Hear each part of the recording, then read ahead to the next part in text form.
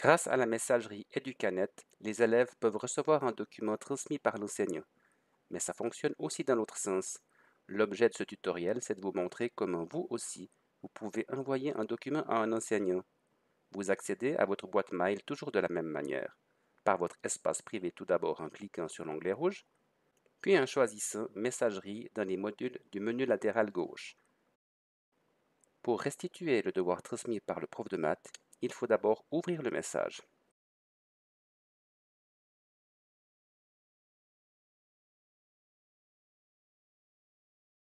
Puis choisir Répondre en cliquant sur le bouton en bas à gauche.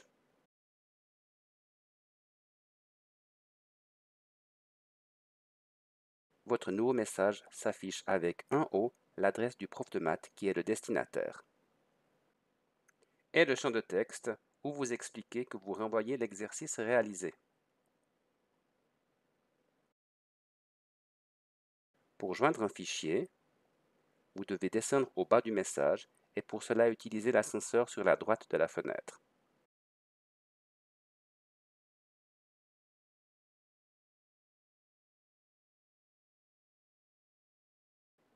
Vous cliquez sur le bouton Choisir les fichiers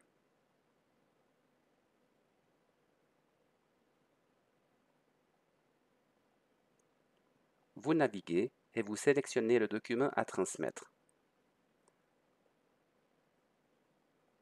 Ensuite, confirmez en cliquant sur le bouton Choisir. La fenêtre se referme et le nom du document s'affiche au bas du message. Pour charger le document, vous devez encore déposer le fichier. Lorsque le document est joint à votre message, il s'affiche de la manière suivante. Il ne vous reste plus qu'à envoyer le message.